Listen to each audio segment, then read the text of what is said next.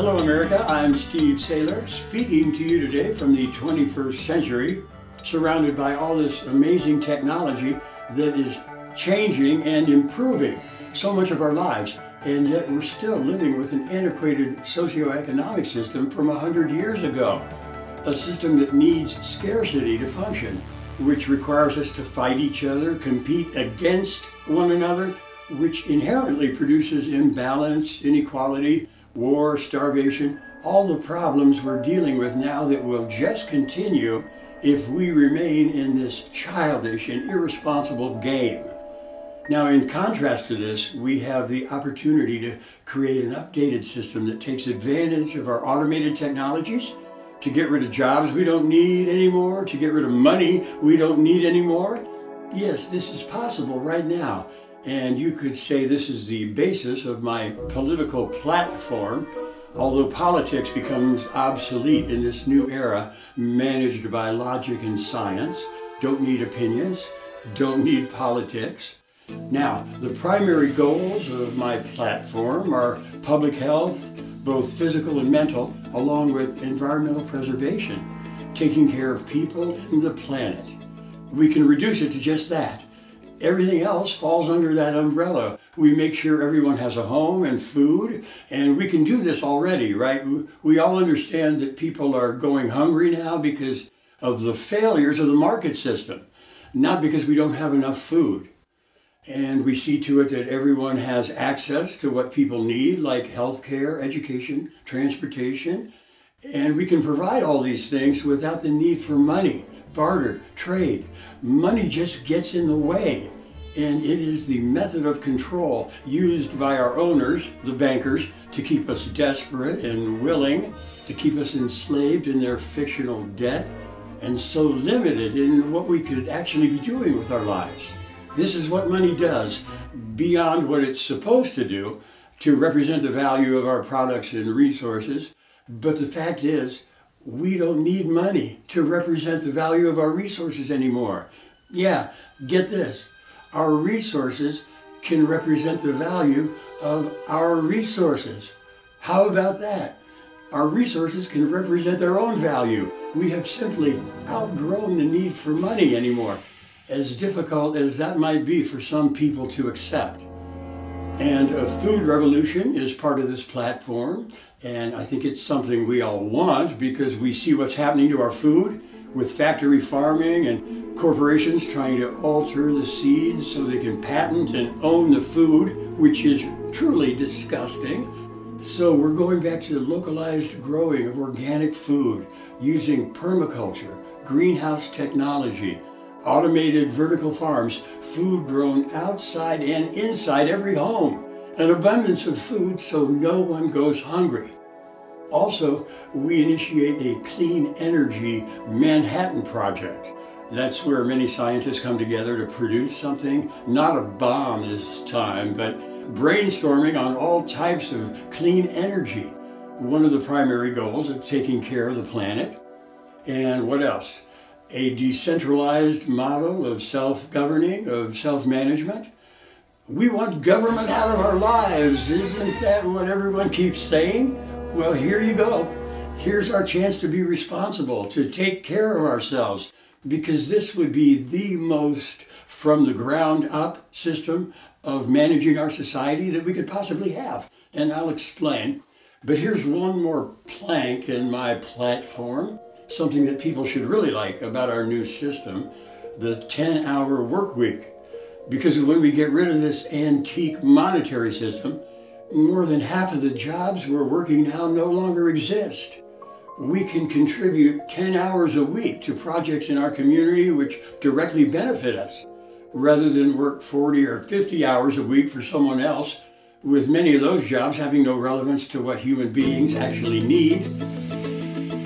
Okay, now let me paint a picture of what this new system of strategic management and organization, what it could look like, how we can transition into this system. And I have to warn you, this looks nothing like what we have now.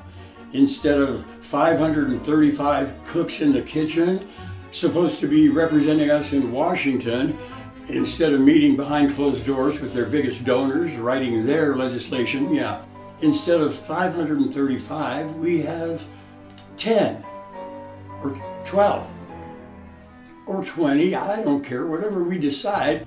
And nobody's going to Washington. Everyone's going online. Yeah, of course they are. It's the 21st century. All management, open source, online. So we have 20, uh, and that would be from the Americas and Canada, another dozen from Europe and from the Far East and Australia and so on. We try to represent all regions around the globe and end up with maybe 100 people on what we might call our resource management team. We don't have to call it that. We can vote on it. This will be an actual democracy rather than the oligarchy or the plutocracy we're living under now. So, who are these folks on the RMT? Well, they're not people who run for this position, who want to be in charge, not bankers or corporate interests or politicians. Those positions no longer exist outside the money game. No, the people we really need at the forefront of our resource management team would be our best and brightest scientists, engineers, technicians, architects, builders, people who are technically oriented to help organize our resources in the most technically efficient ways. These are people that you nominate, that we nominate. And we'll have to ask them nicely, think. Might have to beg them to do it because who wants to have to listen to your BS all day long? And mine too. no, but actually it wouldn't be like that because these people won't be making the decisions for us like it's done now with all of our top-down hierarchies. No, they'll be more like the moderators on these online forums. They'll just help organize information with regards to this or that particular field. And there would be a few people who are specialists in clean energy technology, and they would be passing along test results to the subgroups working on various free energy systems. And everyone is not only checking to see that the, the most efficient methods are being utilized, but all of us can be assisting in processing this information and moving it forward. This is the great collaboration taking place where knowledge grows exponentially within the group mind, the collective consciousness, where solutions to many of our problems come out of left field where, where no one expected it to be because all information is shared worldwide, available to everyone to add to it. Our scientific understandings will move forward by leaps and bounds without the hoarding and patenting, without people fighting for ownership of knowledge. This will be the age of enlightenment too, bigger and better, in super high def, with colors you wouldn't believe. So we have our specialists in clean energy and in farming, soil regeneration, atmospheric sciences, oceanographers, who are moderating the forums dealing with the restoration of our ecosystems, with all of us contributing. And this model, this contribution network, is duplicated on a local level. This is where it really begins, with every community having their own local management team and you nominate a few people in your town to, to help organize the way you take care of things, where and how you grow food and distribute it, uh, how you manage your water systems, recycle waste, etc. This will be the most decentralized system possible from the ground up. Government, as we've known it, will be out of our lives. This is what you want, isn't it? Now then, how can we transition into this new economic model?